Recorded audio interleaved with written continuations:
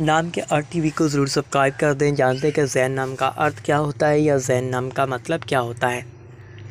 जैन जैन नाम का मतलब होता है खूबसूरती, जीनत, सजावट, आरइश और ख़ूबी को कहा जाता है। जैन एक अरबी भाषा, ये एक अरबी ज़बान का नाम होता है।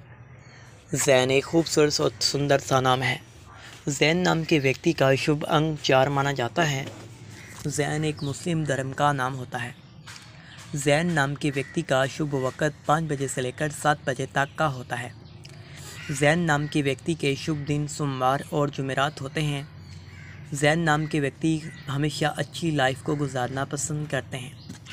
जैन नाम के व्यक्ति की शुभ दातें कांसी होती हैं। जैन नाम के व्यक्ति के शुभ रंग पीला, सफ़ेद, हल्का सबज रंग होता है। जैन के लिए शुभ पत्थर, सबज पत्थर होते हैं। ये जानकारी पसंद आई हो तो लाइक करें।